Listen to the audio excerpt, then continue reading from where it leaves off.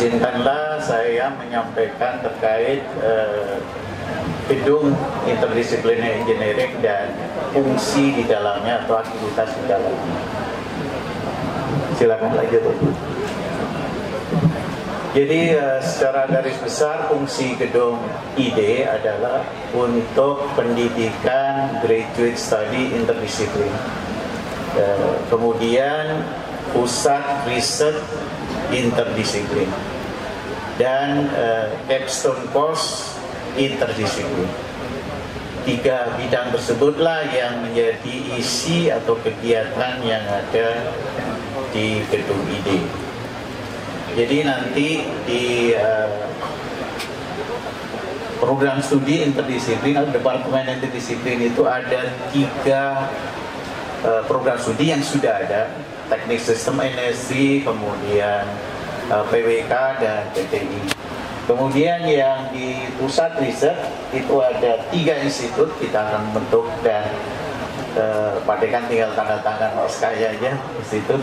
Kemudian lima advanced lab dan satu gedung satu ruangan terkait dengan capstone design interdisiplin lanjut nah ini kira-kira uh, isi dari gedung uh, ide jadi yang pertama di uh, lantai atas dua itu institut lantai 8 dan lantai 7 kita mulai dari atas itu institut Biosistem and Bioengineering. Ada dua ruangan dan yang sudah ada dananya dari Pertamina sekitar 1, eh, 12,6 miliar. Kemudian eh, di lantai 6 dan 5 itu ada Institut Energy Transitions yang nanti dananya sudah ada dari PAUPT Dikti sebesar 60 4,8 miliar. Nah insya Allah peralatannya akan datang semua di akhir tahun ini. Kemudian eh, lagi Bapak Ibu yang di lantai 4 ini masih belum ada dana ini tugas Strawberry masih kurang 60 miliar lagi. Jadi lantai 4 Institut uh, Urban Planning and Smart City. Nah ini monggo aja ada donatur yang mau menyumbang kita di sini masih kosong. Kemudian di lantai tiga ada ini nanti ruangannya program studi atau departemen interdisiplin. Kemudian di lantai dua ini Indosat tadi sudah tanda tangan sudah ada isinya sebagian auditorium. Ada ruangan lainnya belum juga.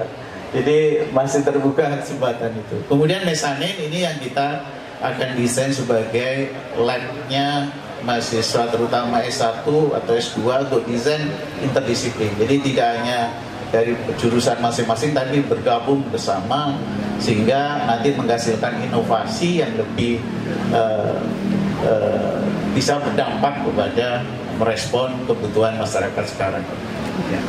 Nah, demikian terkait dengan fungsi dan Uh, total gedungnya mungkin biayanya 75 miliar dan isinya 135 miliar dan sebagian belum terisi.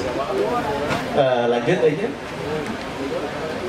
Ini kira-kira uh, departemen konsep dari departemen interdisiplin merupakan departemen ke-8 paling muda di Fakultas Teknik. Sekarang sudah ada tiga uh, program studi yang sudah terakreditasi dan seterusnya dan mahasiswanya sudah cukup banyak.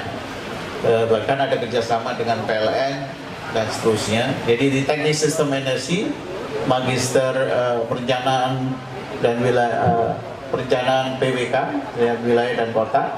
Kemudian ada program insinyur Nah, tidak menutup kemungkinan nanti di program studi departemen ini akan muncul program studi interdisiplin baru. Ya, jadi kita sudah mendapat persetujuan dari Senat UI dan SK Dekan sudah eh, diterbitkan. Saya baru PLT Pak, jadi untuk sementara mau aja nanti rekan-rekan menjadi calon ketua departemen interdisiplin yang nanti akan mengembangkan departemen baru di Fakultas Teknik. Lanjut. Ini kira-kira jumlah mahasiswa dan jadi ini sudah ada, sudah berjalan dan seterusnya. Tinggal kita kembangkan aja eh, program-program yang ada dan nanti akan muncul program studi baru yang interdisiplin.